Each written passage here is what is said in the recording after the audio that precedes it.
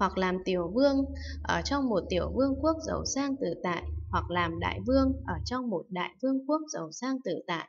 hoặc làm đại luân vương ở trong bốn châu giàu sang tự tại.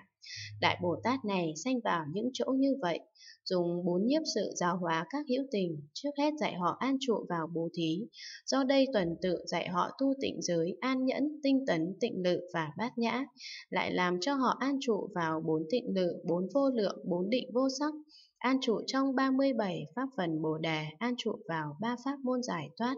Đại Bồ Tát này giáo hóa các hữu tình trụ vào các thiện pháp như vậy rồi, hoặc làm cho họ nhập vào chánh tánh ly sanh, chứng quả dự lưu cho đến quả A-la-hán. Đã nhập vào chánh tánh ly sanh rồi, tuần tự chứng quả độc giác Bồ Đề, đã nhập vào chánh tánh ly sanh rồi, tuần tự học các địa vị của Bồ Tát, mau chứng quả vị vô thượng chánh đẳng Bồ Đề. Lại dạy rằng, này các thiện nam tử, phải phát đại nguyện để mau được chứng đến quả vị vô thượng chánh đẳng Bồ Đề, làm việc lợi ích thù thắng cho các hữu tình. Các loại hữu tình này, vì hư vọng phân biệt chấp trước các pháp đều vô tự tánh do vì chúng điên đảo vọng chấp cho là có. Vì vậy nên các ông phải siêng năng tinh tấn, tự mình đoạn trừ điên đảo cũng khuyên người khác đoạn trừ, tự mình thoát sanh tử cũng làm cho người giải thoát,